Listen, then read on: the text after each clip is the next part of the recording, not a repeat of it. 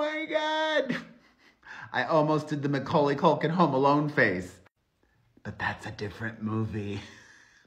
Have you seen the reports making their way around social media that a sequel to Goonies is in the works? I was so, I did it again.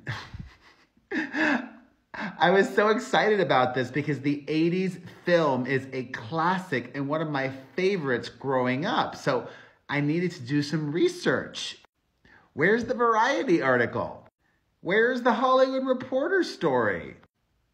Neither of them exist.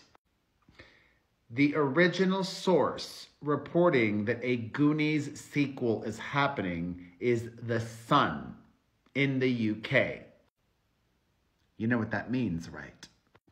A trashy tabloid. Listen, The Sun is sometimes right, but they are notoriously also wrong. I would not say they're very reputable. And their article had no information. It was all speculation. They say it's happening, but they had no details, which leads me to believe that it's definitely not true, sadly.